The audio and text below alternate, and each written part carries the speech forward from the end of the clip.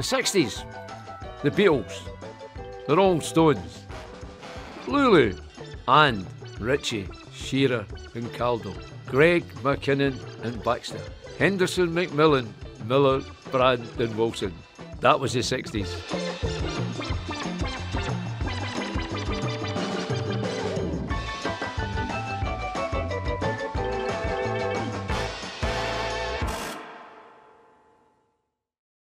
Willie was one of these fantastic young schoolboy players, came to the attention of a lot of people, and in 1960 Rangers signed him on an S form, but he couldn't sign his professional forms until his 17th birthday, which he duly did in 1961.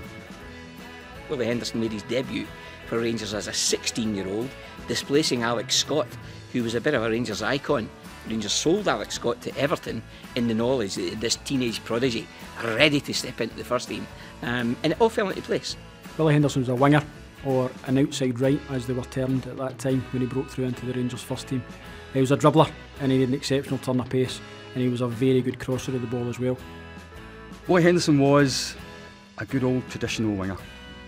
He was quick, he was direct, he was skillful, he could beat fullbacks, he could cross a ball, he could create for other players and he could score goals. He was everything that you would want a winger to be.